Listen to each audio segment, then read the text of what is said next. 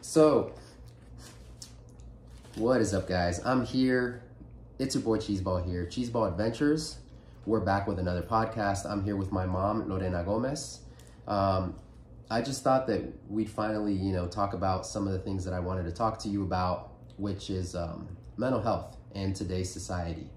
But before we get into that, I was hoping that, you know, you could tell us a little bit about yourself and go over your background um, in education, in life in general, and maybe a little bit about, you know, why you went down this route. Okay, well, like he just said, um, his mom, she's Bonaventure mom. And my name is Lorena. You can just call me Levi, by the way. They know me as Levi as well. Yeah. I like Cheeseball. Yeah, okay. Anyways, um, I'm Lorena, and um, I'm originally from Mexico. And so as you can see, my strong accent. Anyways, um, here with my cafecito, morning cafecito. I hope you already have one. Anyways, um, what else? Um, just tell us a little bit about yourself, like how, you know, how would you normally introduce yourself if you were a guest speaker somewhere, you know, maybe your education and how many kids you have and Well, I have four kids. Yeah. This is my old ones, my old one, and yeah, the oldest, the oldest guys. the oldest, the oldest, and you know when you come when it comes about languages, you never um, finish learning. So I'm still learning. Um, excuse me about that. So, anyways, uh, yeah, I was telling you, I'm um, mom of four and a wife uh, to Miguel, and here trying to support my older one and my oldest son Mm-hmm. with this podcast. Uh, seems like the team is one of my the ones the one of I really enjoy talking about, and which is what we are uh, living right now in our society. Everyone, and we'll tell you a little bit more about it. And And also for something that you guys also didn't, in case y'all didn't know, um, my mom has a, she's majored in um, counseling and f- specifically family counseling.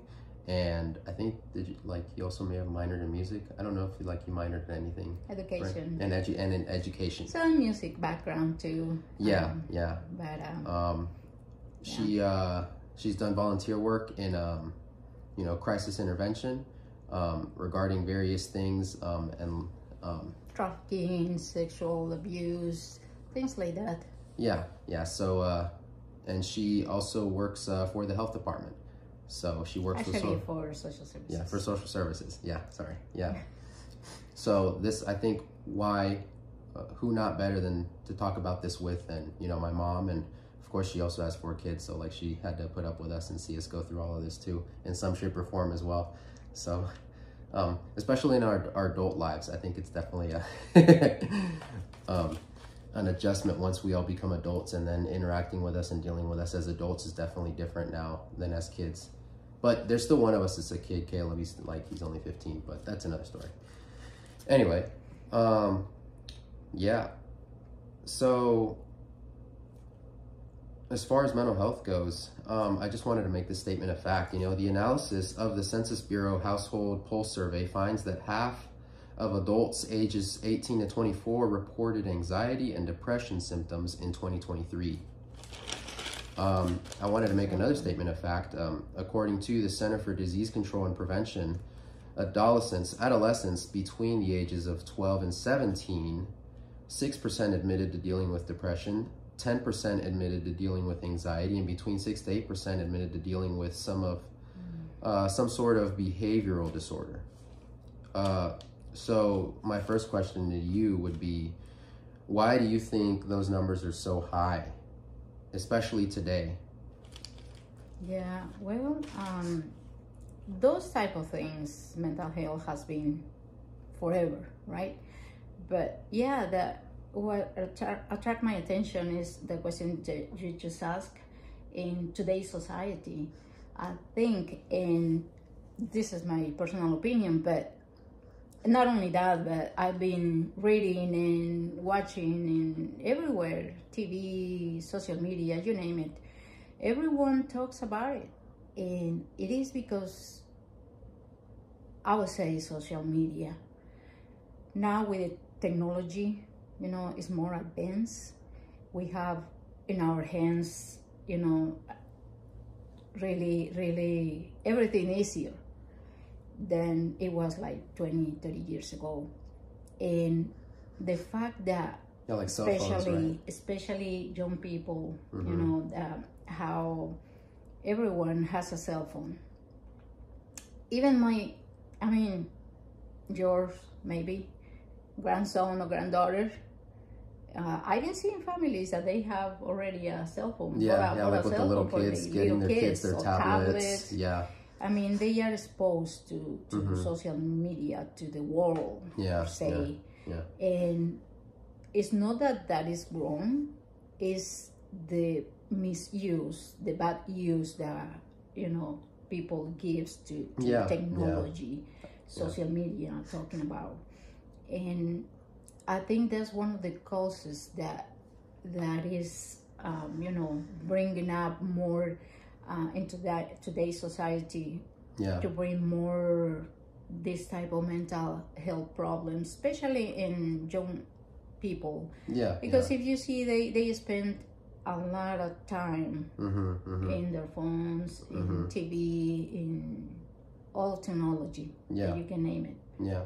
Some examples for me, I think, would be um, in ways that I've um, gone through some anxiety because of, you know, social media or like new technology, new emerging technologies are, um, I'll see like other people um, and like the lives that they're living or the success that they're going, that they're getting, you know, in various areas or aspects of their lives and you see that at least for me and sometimes you think like oh well i'm supposed to be going through that too. I'm supposed to be doing that too. And if i'm not then there's something wrong with me.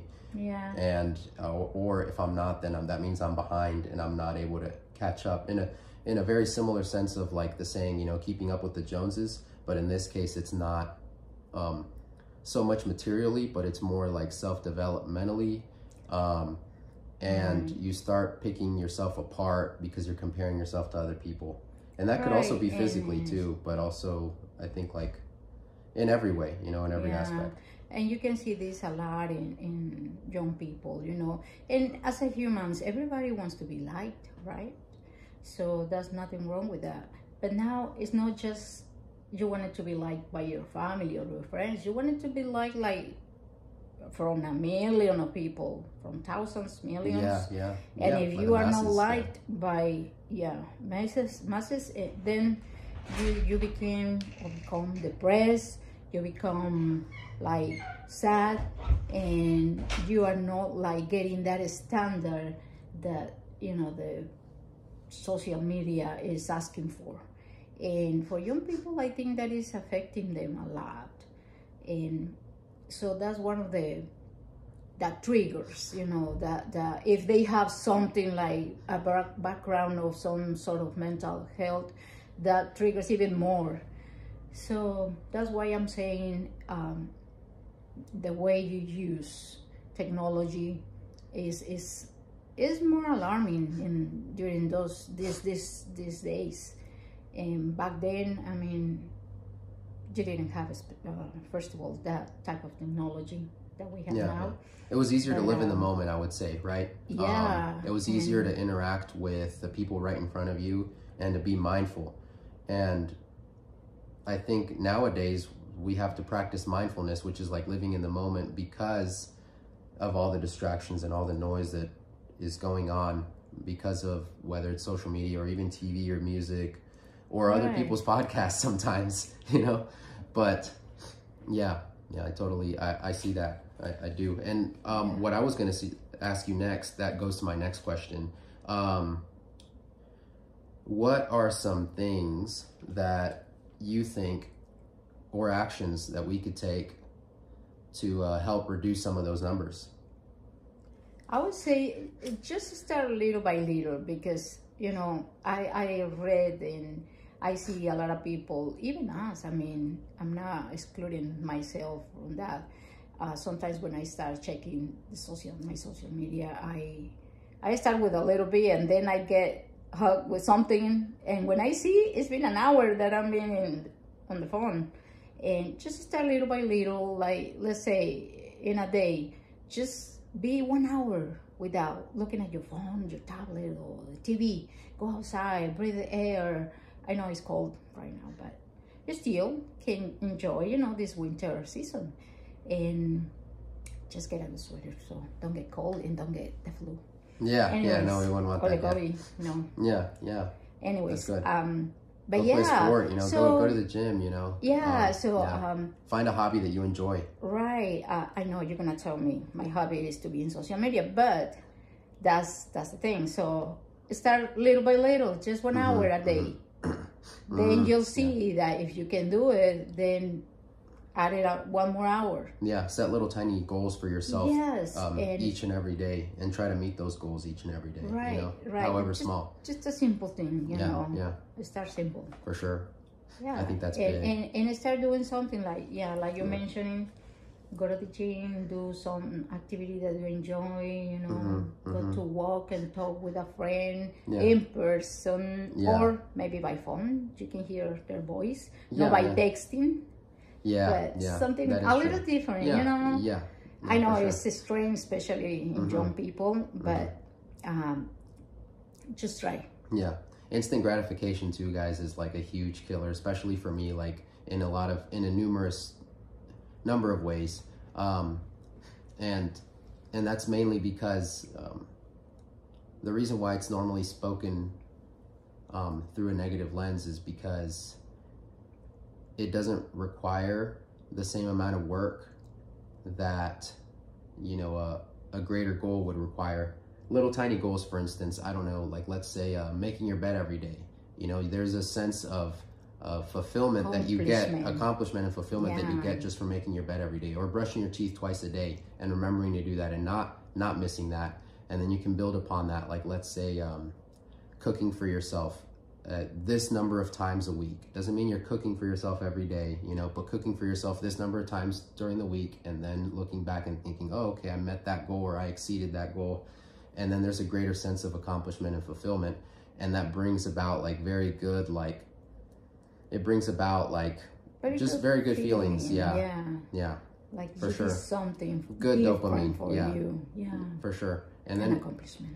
I. And I think that that really adds to your character development, to who you are, and your sense of purpose as well.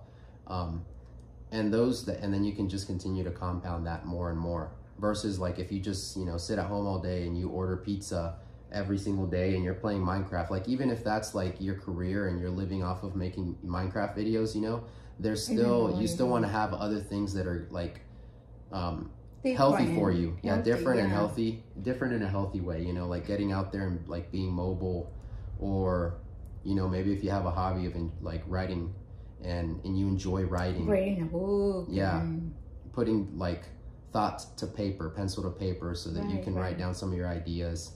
Um, and then when you look back on that, that really helps you understand who you are and then you can um, bounce off of that. At least that's kind of what I do. That's what I took from therapy because I've gone to therapy and um, and if that's something that you need to do, then you do that too. You know. Yeah, right. So yeah, Yeah. I think the key is just like um, know when to rest and know when to um, when to grow, when to be doing something. You know. But I think overindulgence in every area, in any one area, can be bad and harmful for us. And I think that's where that's another thing that we can take away from that um, right, as well. Right. Um, I actually have like a graph here. One sec. That I wanted to share real quick because I was reading a book recently and I wrote something down. The book is called uh, 48 Days to the Work and Life You Love by Dan Miller. Some of you may have heard of it, but there's at a certain section of the book talks about how, um, you know, life planning process and the life planning process involves like identifying your skills and abilities. Number one. Number two is your personality traits. Number three is identifying your values dreams and passions. So then the chart contains like a it's a, a wheel, a circle that outlines um, how all of our lives are are should be um, um, charted or organized in order to like produce a more fulfilling life. And so a purpose, yeah. yeah more purposeful life and so this it goes like this you this there's the chart right there so um there's seven sections here career financial social family physical personal development and spiritual See, social is in there. yeah so socials in there and there's a certain amount of time and uh, the way i see this too is like how much time are we devoting to all of these? How much time are you devoting to your career your finances your uh, your social life?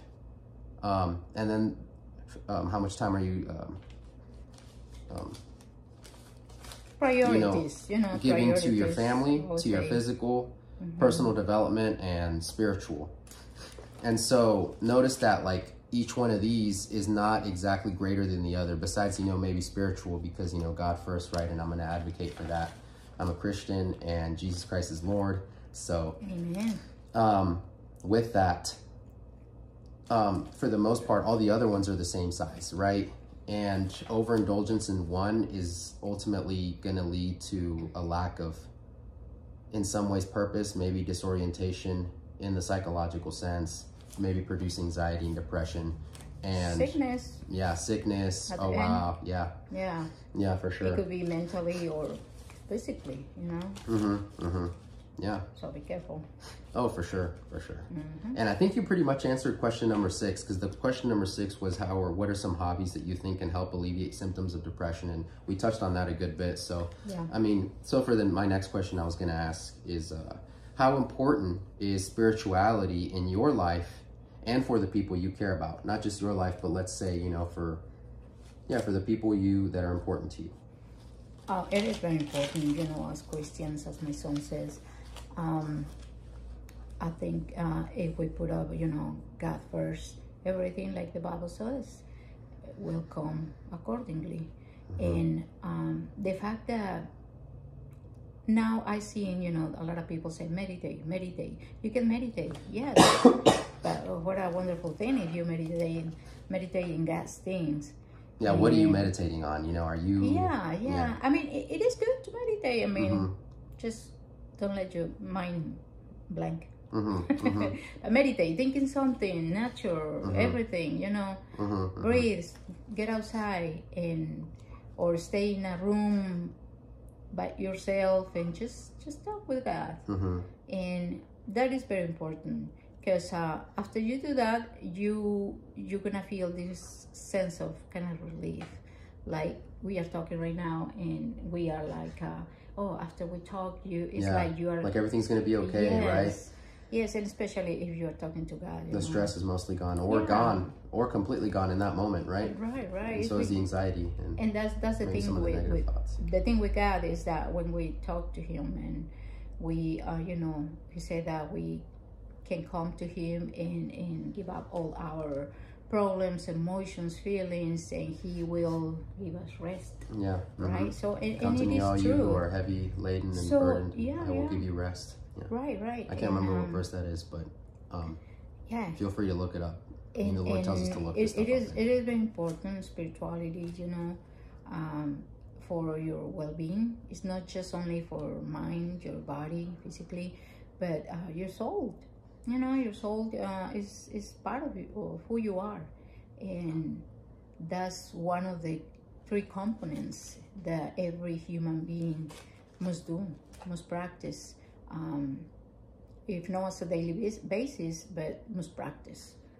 So uh, it helps us to calm down our thoughts, our feelings, our our you know physically emotions, things like that. It's all connected too, because like your physical state is going to be connected to your mental and um, Physically, s- yeah. spiritual state. It's all all of it's connected. You know, if you if you're neglecting, um, you know, for instance, like This- that part of your body because Yeah. you know as we as we know we are like three essence. Mhm. We are you know body mind, body, and spirit. Yeah. yeah Yeah.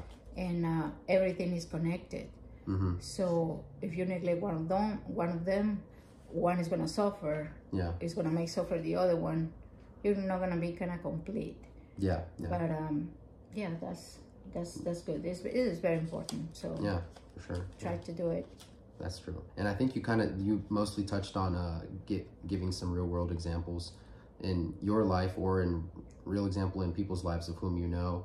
Um, but maybe what are some examples in like your life as far as like what you do to like um to work on like your spiritual um life regarding like the Lord, you know? hmm Yeah, well, um, one good example, and I remember that one really good because I, was about to to to present this test and for my exam, this professional exam, and I was so anxious. I was so worried. I was with all the feelings that you can think of, and I was like, I need to do something. I need to so it come to my mind, I need to pray, I need to talk to God. And, and I went into my room and I started just talking to him, just like I'm talking to you right now. And I was telling him, God, I feel like this, I feel worried, I feel fearful, I feel um, with a lot of stress, with a lot of, you know, everything that you can think of. And as I started talking to him, I was expressing all those feelings. It was like a sense of relief that I was started feeling. And next day, early in the morning, I had this test. Um, it helped me a lot.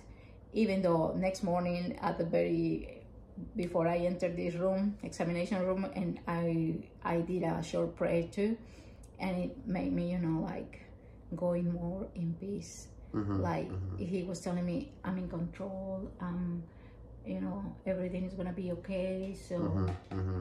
Wow. but anyway um Yeah, yeah God. things like that when you feel like this anxiety and of course you can still do those exercises that a lot of people professionals you know recommended to do like grab a bag and uh, breathe inside the bag or things like that or do the exercise. And but at the core of everything you do physically is that state the spiritual state that i think as humans as humans we we shouldn't you know neglect forget because um that's part of what we are Mm-hmm. Mm-hmm. and it really helps yeah so help It does. It does. That's awesome. Well, thanks for sharing that. sure Thanks so much. I mean, that concludes the questions now at this point. Um, this has been uh, an amazing time. I'm glad that I was able to interview for you for this. Um, that um, I, there's some things that I'll definitely be able to take from this that'll help me in my life, and I hope that they help you guys too. So, um, I mean, Alright. without further ado, my name is Cheeseball. Um, like, comment, and subscribe. Let us know what you think down in the comment section below. Let us know if there's anything that you think that we should add, that I should add to the channel, uh, to future videos, ideas, um, or you know any concerns that y'all may have. Uh, thanks so much for watching. Um, please feel free to subscribe. That would be amazing. That like helps us out a lot. Hit that like button and the notification bell on the way out the door if you do subscribe. You know. And as always, it's your boy Cheeseball here. You know. Um,